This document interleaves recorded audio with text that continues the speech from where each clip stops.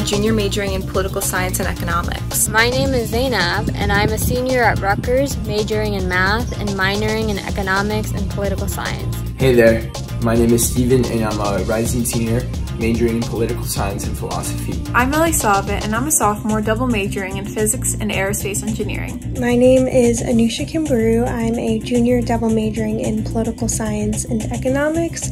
I'm currently doing research at the Eagleton Center on the American Governor. For the past year, I've had the privilege of conducting research through the John and Ann Holt Endowed Undergraduate Applied Research Fund in American Politics. This year, I worked with the Science and Politics Initiative at the Eagleton Institute of Politics. I'm an intern here at CPIP, the Center for Public Interest Polling at Eagleton Institute, where my primary research deals with polling. My research is focused on the lack of racial diversity in the governor's office and trying to understand potential reasons behind that.